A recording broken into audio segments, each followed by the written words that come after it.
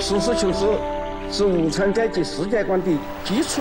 只有坚持实事求是，一切从实际出发，我们的社会主义现代化建设才能顺利发展。我们可以上大学了！目前进行的关于实践实践员证明的唯一标准问题的讨论，实际上也是要不要解放思想的争论。要允许和鼓励。乡镇企业给中国农民打开了致富大门，但也给环境保护。杜绝假货，加以培植。感觉到快，有很人跑的。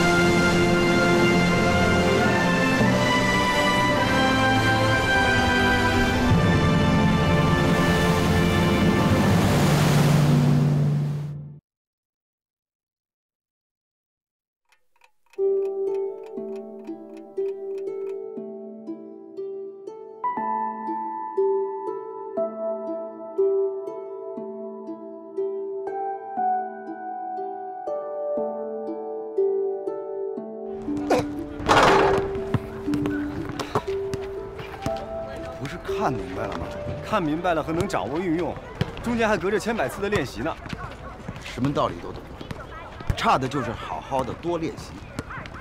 所以不要说那么多废话，继续。今天图书馆人多，我得去占座。哎哎，你这个人怎么分不清主要矛盾和次要矛盾？我的主要矛盾就是读书。你等等。要不是学校联赛马上就要开赛了，系里又这么缺人，我至于这么求着你教你打球吗？就是。不好意思，请你另请高明吧。大叔、二叔也都在，你教他们二位打也可以。哎哎哎，听我说啊，这种筋骨之强的事呢，我们二老就不便参与了。我们俩最擅长的还是嘴皮的功夫。那是你。他们两个除了有自知之明。但是悟性太差，还不如你。哎，你怎么说话呢？就你那三脚猫的技术，你能教得了我们？你也就糊弄糊弄小宋。不服是吧？那咱们下场比比。嗯那我走了。你站着啊！别走，哪去？给我。算我求你留下来，好好的练习。如果你能投进去十个球。我告诉你一条十分重要的信息。什么信息？对你的前途和命运都非常重要的信息。投吧，我们这化学三老都陪着你呢。趁两位老同志都在，让他们做个见证。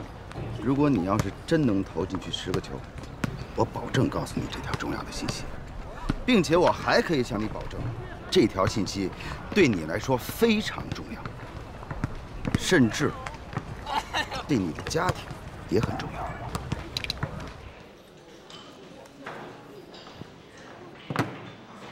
饭也不让吃是吧？没不让他吃啊。他不是想着赶紧投进那十个球，晚上还要赶到图书馆自修呢吗？你是准备饿死我们家孩子呀？谁饿着他了？这不是给他打饭了？这是你打的？算我打的好吧？我给你饭票。去去去，少来这套！你也就是欺负我们家小宋，老实巴交的。反正你也没挨那盯着，他就跟你说他投进十个，这事不就完了吗？他要是有你这么聪明，就不是宋运辉了。笑什么笑？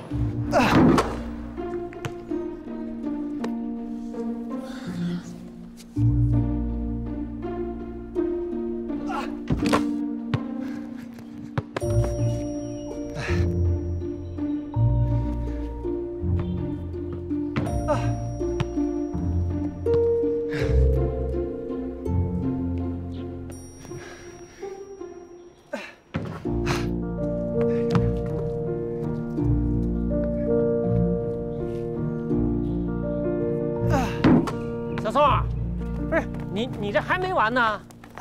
啊，还没完吗？啊，还差几个？不就十个球吗？啊，还差两个，不是，还差两个。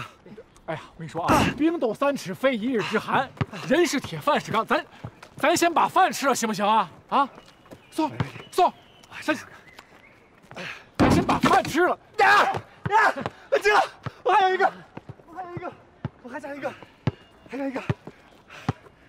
三儿，这孩子是不是让你给整神经了？呀哎，你还行吧？哎，要不算了。我没问题，我还剩最后一个。不行，这算了。没问题。先吃午饭。呀慢点，慢点，慢点。啊，没事啊，一会儿就到了，到了，到了，到了，到了。慢点，慢点。我先进，我先进。哎呦呵，你慢一点。你那边，你那边。进进进进进进。慢点，慢点。来，来来来，把腿把腿放在这里，放这里，放这里。好嘞。好，放松啊，放松。坐着。干嘛呀？摁腿。啊？摁腿，帮他放松。他都都僵了都。就这样摁是吧？对对对，匀着劲儿揉。哦。小宋，我跟你说啊，今天你的表现着实让我钦佩，以后再也不要说谢这个字儿啊。饭好了没？你让一让，让一让。来来来来，放放放。真是的，快点快点，我吃不下去啊！你你不吃可是不行的，不然的话非得低血糖，你知道吗？啊，一定要吃。我逃进十个球了，我看到了。小宋，你放心，我会兑现我的承诺，告诉你那条重要信息。但你先把饭吃了。对对对，先吃饭，不然我真的怕你昏过去。啊，你你你先吃饭，先把饭吃了，好不好？啊，来来来来，好，哎，听话啊，哎呦，听话，哎，坐好坐好坐。好，来来来，慢点慢点慢点慢点慢点，嚯嚯嚯，我先把这盆拿出来，先把盆拿拿着快拿着快点，嚯嚯嚯嚯嚯，来来来来，慢点吃慢点吃，慢点吃慢点吃啊，慢点吃不着急不着急，慢点慢点。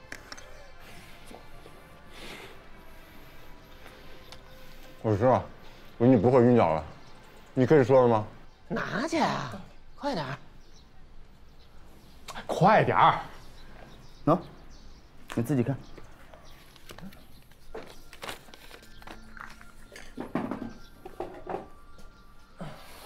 热爱祖国，积极上进，学习刻苦，关心事。哎，这都是你的优点呀！这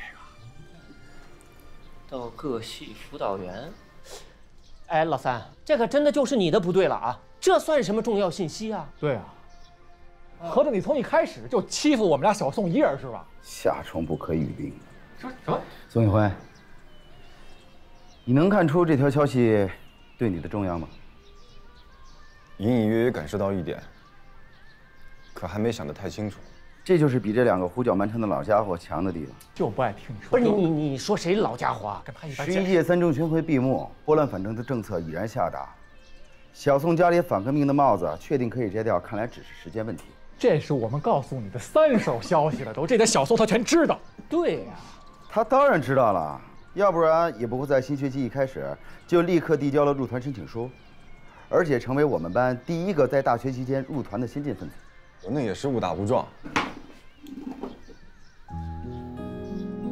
我们明人不说暗话，你家里要摘帽子的这件事情，我们都知道不是件容易的事。因为各地方的情况不一样，所以政策实行的力度也就不一样。根据你家的情况，如果你能成为社会公认的积极分子，甚至是先进分子，你就更有可能帮助你家摘掉这顶帽子。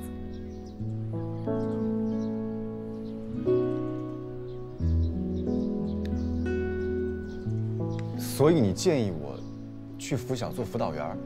哎，我该说孺子可教吗？对呀，你是共青团员，又是光荣的附小业余辅导员，连祖国的花骨朵都能凭你拿着这个红头文件把他们给教育了。你说就你们镇那个什么革委会主任，敢不给你们家摘帽子？是不是？于山新，谢谢你。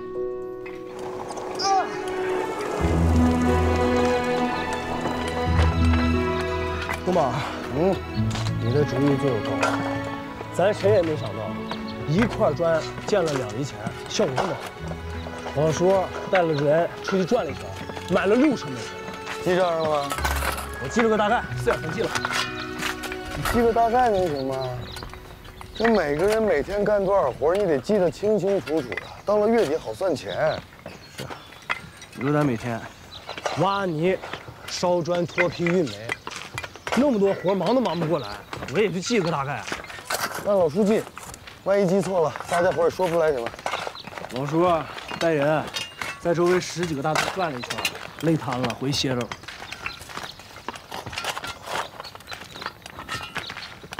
你就说你们几个，能有一个能写会算？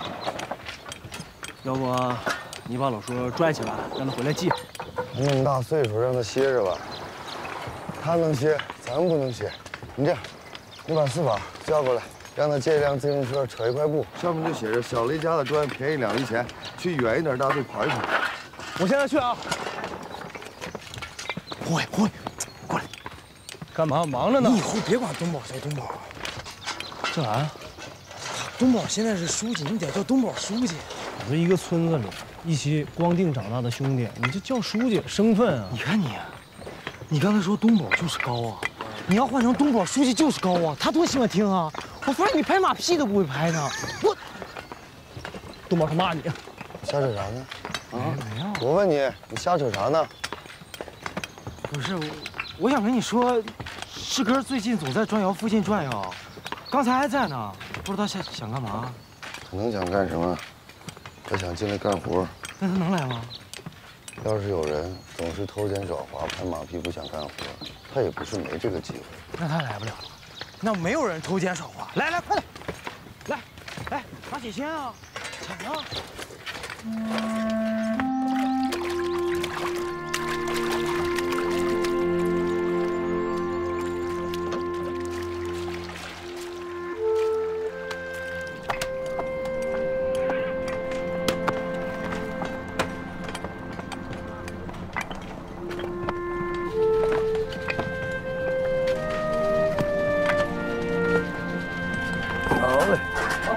活交给你了啊。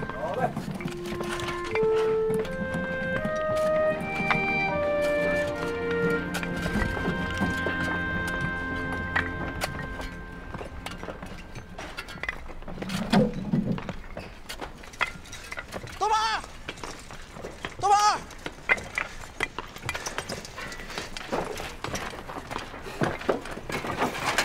让你扯面旗，你忙活半天，到现在没出发呢。没有没有，我接到你的指示，我就回家把这单拆下来，做了这个旗。我在外面转好几圈了，干了一天了都。好样的！这回来太早了，你再去其他的大队，你再去转转去。是啊，我也是这么想的。可我到了红水镇之后，看见一个人，我就赶紧回来跟你说一声。什么人？买咱们砖？这人吧，也能买咱们砖。等他兔子要养多了，他得买砖盖兔子窝呀。皮子紧了？不是不是不是，我真看见养兔子那个姑娘了。看见她又能怎么样？我看见她在宏伟镇的革委会门口，好像让人给欺负了。谁欺负她？那就不知道了。反正她就在那个革委会门口，然后眼圈通红，好像刚哭过。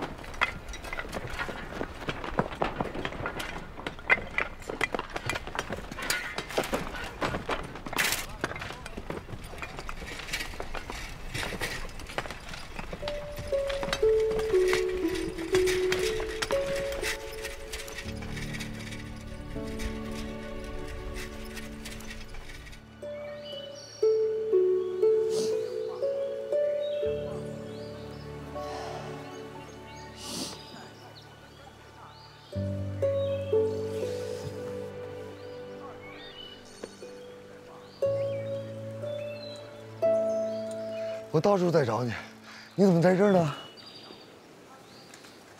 你找我干什么？谁欺负你了？什么谁欺负我了？有人看你去革委会，是不是他们欺负你了？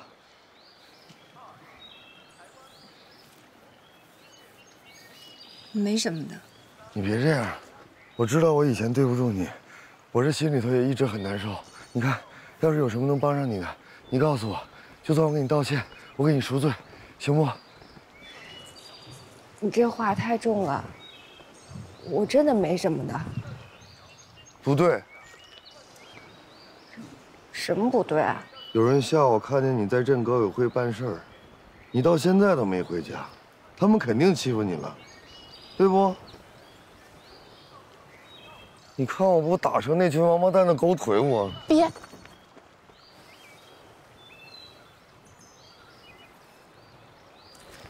我们家家庭成分不好。我弟弟说，有文件下来，可以给摘帽了，已经有人落实了这个政策，我就写申请去问。可是，他们总是让我等。那群坐办公室的最势利了，要他们办点事儿，总是三请四请，给足面子，才懒洋洋做一点他们就那德行。你也遇到过那样的人？以前我在外边的时候，总能碰到这种人。那你遇到他们能怎么办？这种人最爱敬酒不吃吃罚酒，全都递过去，什么事都办成了。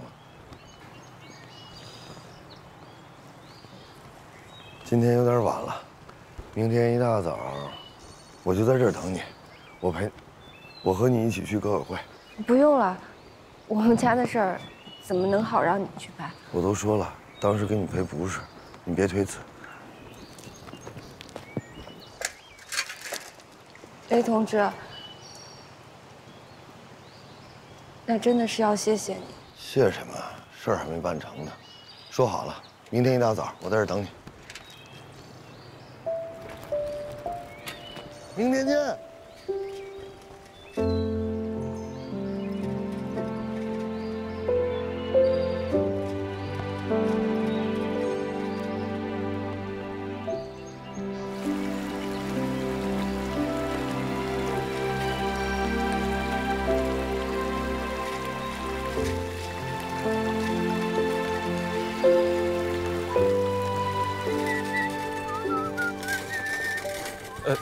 书记，呃，书书书记，找有事啊？啊，那个，我有一些想法，我我想和你谈谈。去我家说去。啊。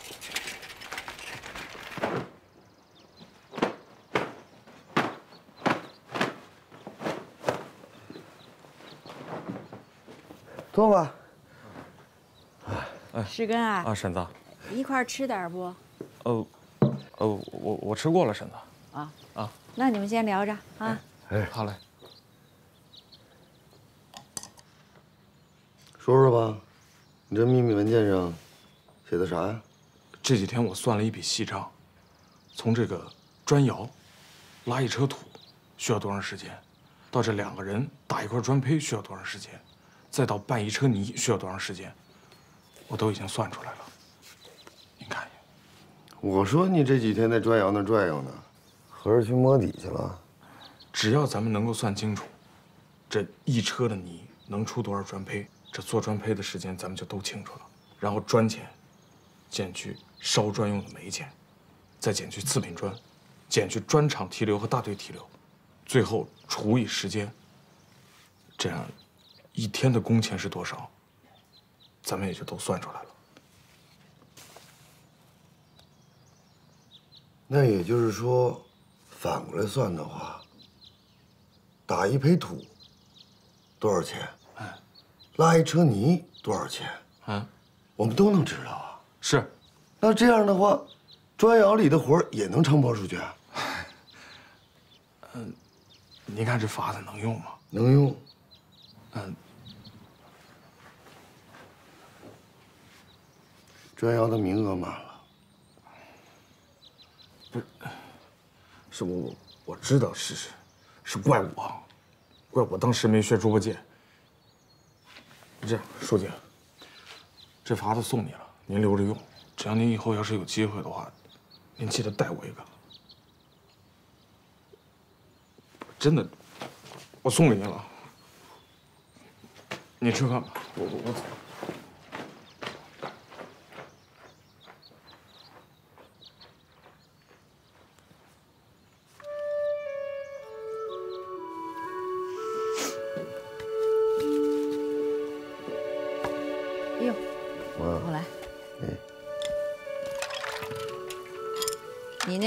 砖厂没要石根啊？嗯，是不该要他。这小子平常眼睛都长在头顶上，见着人也不打招呼一声。这是有事来咱家了，平常他哪来过呀？妈，往后工作上的事情，您少插嘴。你不是也没要他吗？我没要他，那是因为当初他信不过我，而且我也放出狠话了，就三十个人，多一个我都不要。可是话说回来了，你看，师哥这小子脑子聪明，能写会算的，就他出这法子，小雷家没第二个。当官没几天，你官话说的还挺顺。妈，我那军装你给我放哪儿了？呀，在柜子里呢，我去给你拿。哎呦，慢点儿！你这魂不守舍一早上了，怎么了这是？没事儿，妈。哎，现在几点了？快八点了吧？家里马蹄表让你弟弟带到学校去了。再卖了兔毛啊，咱得再买一只，要不然全家人都不知道个准确时间。公社大喇叭也不按点播放了，哎呀，一天到晚都稀里糊涂的。妈，我我去给兔子喂点水啊。你不是刚喂过了呀？啊，那个我我摘点菜。这孩子想什么呢？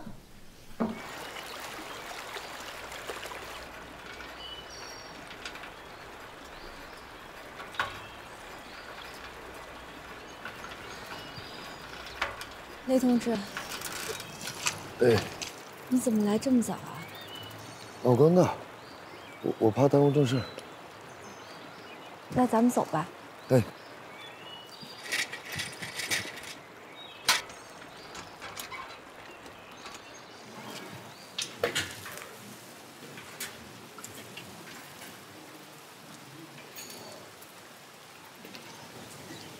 雷同志，我有句话要跟你说。你说。嗯，待会儿进去，如果他们敷衍糊弄，你就帮我跟他们吵一架。包在我身上。你，你可千万别动手打人啊！放心吧。同志，李主任在吗？李主任去县里开会了，这几天不在。那咱们回去吧。他们家平反的事儿，是你们负责吗？什么时候能办？能给个准信吗？这事儿啊，得排队。我昨天不是说了吗？排队，总有一天会轮到你们的。那都像你们这样想着插队，我们还怎么展开工作呀？那我们排第几位啊？什么时候能轮到啊？我想请问一下，这位是谁呀？你们家的事儿跟他有什么相干？他们家的事儿就是我的事儿，我问你，你回答。哟，这什么时候的事儿啊？酒席还没摆呢就过门了？哎呀，小同志啊，有什么话好好说嘛！这是政府单位，谁给你的胆子动手打人的？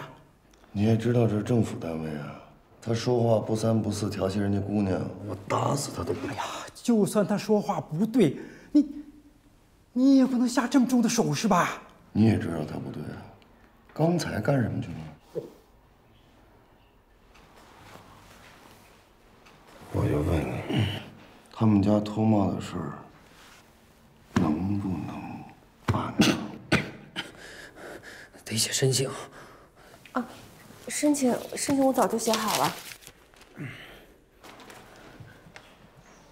搁那。然后呢？然后就把申请放这等通知就行。多简单点事儿啊！国家那么好的政策，都让你们这些歪嘴的和尚给念错了经了。申请放这得等党组开会通过，啊，每个礼拜只有礼拜五一次。对。今天礼拜几啊？礼拜三。下周一我还来，能不能拿到批文？能，谢谢你们，走。坏了，什么坏了？我没听你话，动粗了。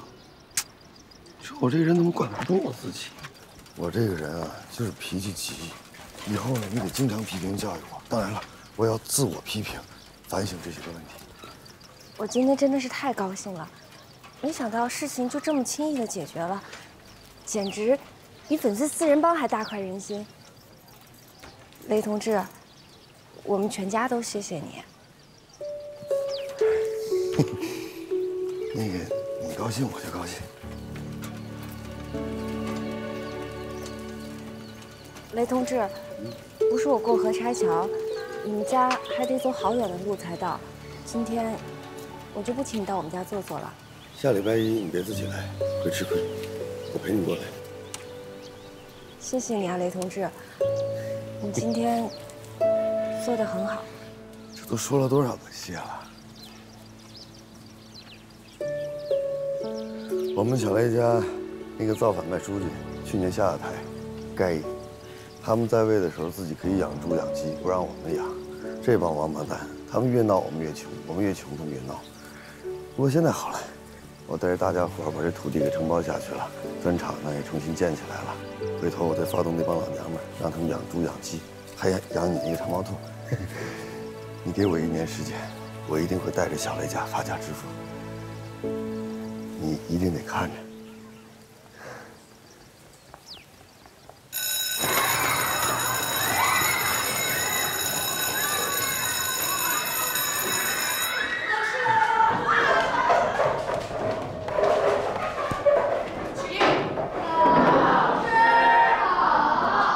们好，坐下。我来给大家介绍一下啊，这位是宋云慧老师，是我们班新来的政治辅导员，大家欢迎。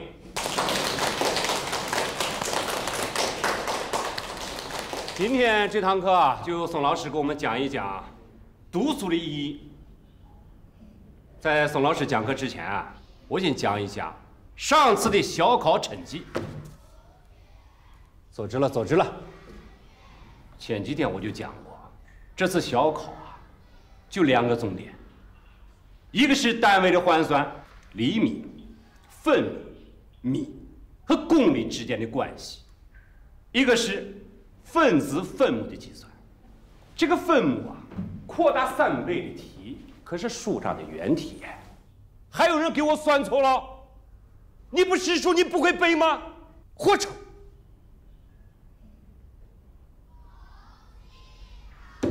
九十分以上的同学只有三个。哎，我在办公室整理成绩的时候啊，我都没得脸抬头看别的老师。马上把卷子发下去，你们仔细看。这三个同学把错的题再做五遍，九十分以下的把整张卷子给我重抄十遍。还有三个同学啊，小学考试啊，竟然不及格啊！今天我就不点名了，但是你们自己心里要有数。不及格的同学，把全卷给我抄二十遍，明天早上交上来，抄不完的翻倍。我平时是好好给你们讲话，你们二是听不见，二是，那我只能用对待垃圾的办法对待你们。宋老师啊，哎，你讲完课以后，帮我把卷子发下去。好的，莫老师。啊，莫老师，莫莫老师。你有什么事啊？我觉得您刚才说的话不太对。怎么不对啊？你说我们是垃圾，这话我并不认同。我们是安云大学附小的学生，班里的同学将来至少会有一半能上大学。这个数字可是我们同学的家长经过统计而得出的结论。如果我们能考上大学都是垃圾，那您这个中专生又是什么呢？梁思珍，你还知道你这次考试考了多少分啊？卷子又没发，我怎么知道？五十八分哎，不及格哎。本来呢，我还想着给女同学留点面子，但是你是非要自找挨骂。小学考试就不及格，你不是垃圾是什么？啊？还有啊，不要以为你们家的关系硬。学校拿你没得办法，我告诉你，按你现在这个趋势啊，到不了期中考试，你就被开除了，二啊。那谢谢您了，孟老师。混！梁思申同学是吧？我是个大学生，想不想听我说几句？文革这些年，你知道都是什么样的人才能有资格上大学吗？工农兵大学生吗。是的，那些年，只有出身好、家境好的人，才能被推荐上大学，而不是成绩好。莫老师凭自己的能力考上了中专，非常难。放在现在，他的成绩绝对可以读大学。那宋老师的意思是，我要跟莫老师道歉？是的，莫老师因为成绩问题发火，那是为你们着急，为你们好。你们要知道，没有一个老师会不关心自己的学生的。我还以为是什么新奇的说法，原来也只是那些陈词滥调。对，就是陈词滥调。这些话，你以为我们没听过吗？对你们好的这些陈词滥调，你们都听腻了，对吗？对啊，家长、老师，不管是哪个，骂了我们都说是为我们好，也不问问我们想不想要这种好。那你们知道我上大学以前最喜欢听的就是这些陈词滥调吗？为什么？我出身不好，在学校一直都受排挤，从来没有朋友，就连亲戚都不怎么跟我家来往。那时候，只有老师，那些教我的老师们才会跟我说话。虽然他们说的都是一些鼓励学习。或者批评我不专心之类的话，但是我很珍惜他们跟我说话的机会。有时候我会主动犯些错误，比如故意做错一两道题，让老师来批评，然后我就飞快的改正，老师们就会笑着过来骂我粗心。可每到这个时候，我的心里都是热乎乎的。都很开心。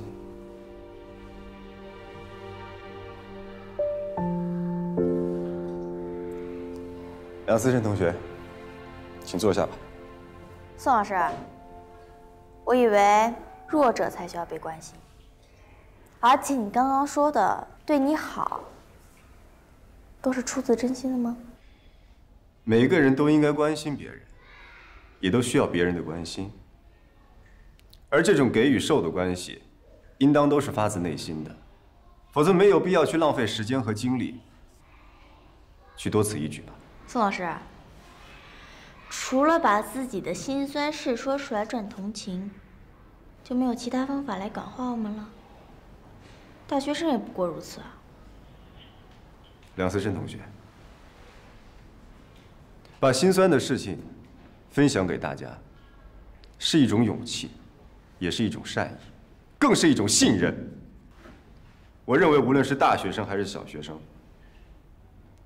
能够关心别人和感怀这种情谊的人，都远远大于那些斤斤计较、自作聪明的人。别小看我们小学生啊！也许我们懂得不比你少，没有真本事，只会煽情讲故事。我就是不服。莫老师，出事了！杨思申，他把宋老师给气跑了。什么？宋老师不是讲的蛮好的吗？是梁思申，他故意捣乱，把宋老师都给气糊涂了。我们班的小小卷子也被拿跑了。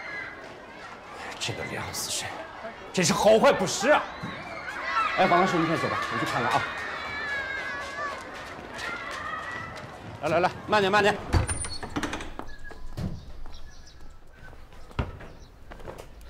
哎，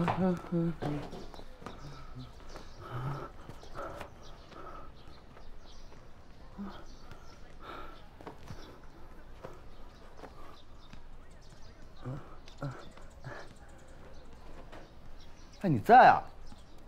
我在篮球场上等你半天，不见你人。你不说回来就找我一起练球的吗？不想练了。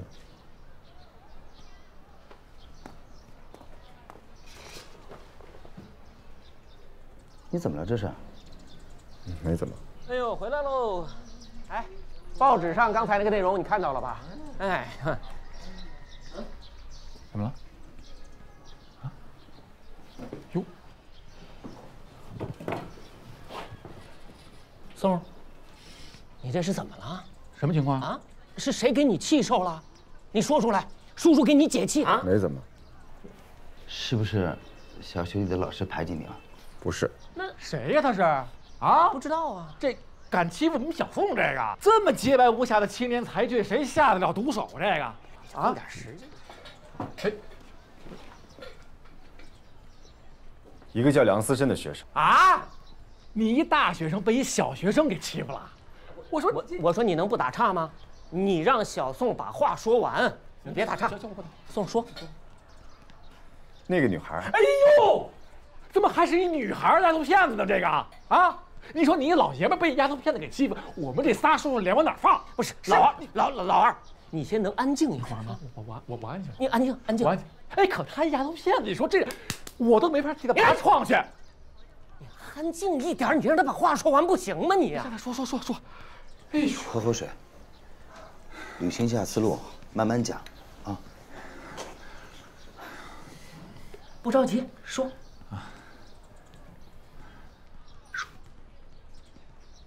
不想说了。哎哎哎哎哎，什什么情况啊？这在干什么呀？我怎么？还你怎么了？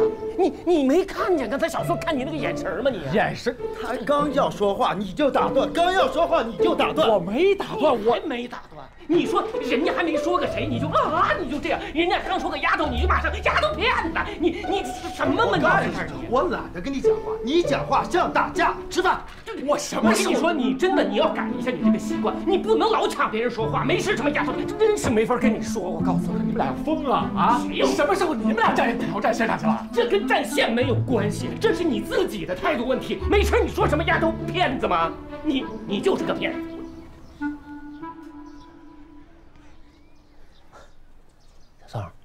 别往心里去啊！你二叔那嘴啊！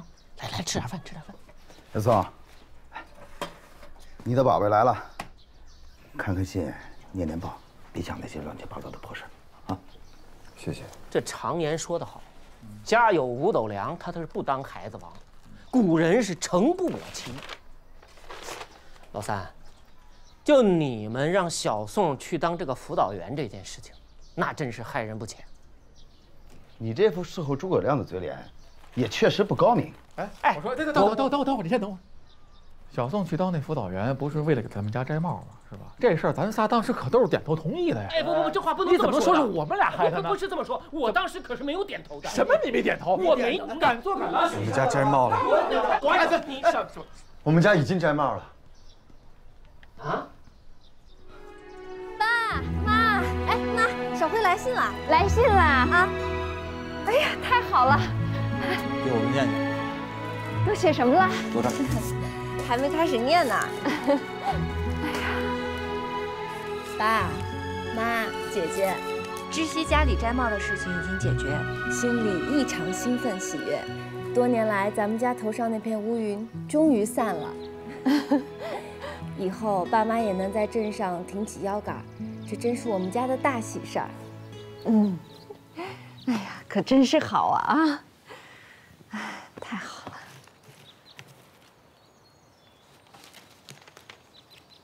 萍萍，啊，下面写的什么呀？不能就写这么点吧？没什么，全都是些废话。小辉怎么可能说废话呢？你拿来我自个儿看看写的什么。这小子没上几天大学，还夸夸其谈了。什么情况啊？这是？哎，小辉一定是反对那个雷东宝。小辉那是心疼他姐。你说咱萍萍啊，她有主意。我怕小辉啊说了也白说。我觉得那雷东宝也没什么不好啊，我看那孩子挺实在的。咱们家啊吃的是供应粮，还有，咱是居民户口。那雷这话可别当着萍萍说啊！哎哎哎哎，糊了！哎呦，我，哎呀，小辉，你对雷东宝的评价很不公平。你说雷东宝故意施恩是想要我的报答。我现在就告诉你，人家是主动来帮我们摘帽的，从头到尾就没跟我提过一句别的。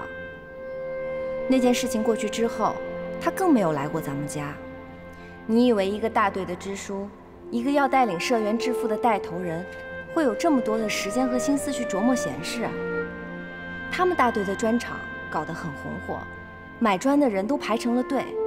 小雷家原来是全镇最穷的大队，但现在的日子可大不一样了。既然你不想跟我谈论雷东宝的人品，那我只能谈谈他最擅长的改革了。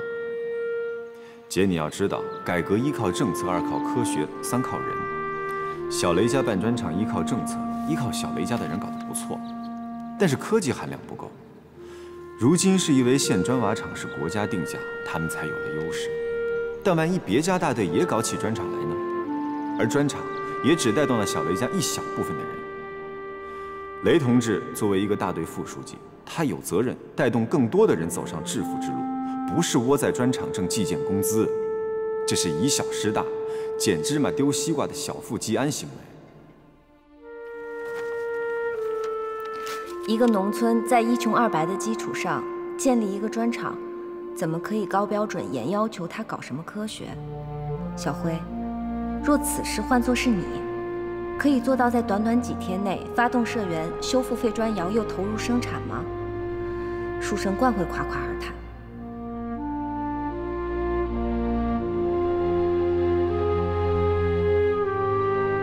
姐，如果你现在又生气了。那只能说明你在跟雷东宝的交往中有不自信的态度，这样我会很担心。你见到雷东宝，不妨把这封信的内容说给他听。他这人虽粗糙，却应该有男儿胸怀，会知道好歹。如果他也生气，那么这种人外表粗糙，内心狭窄，就太可怕了。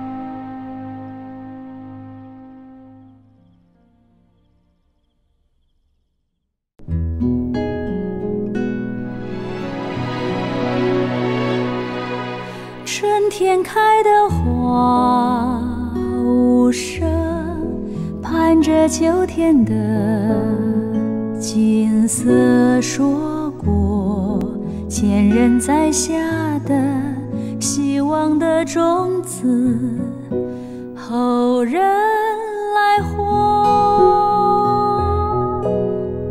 夏天的骄阳如火。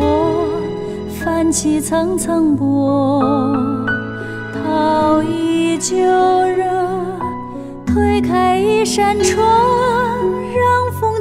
阳光，如春来过。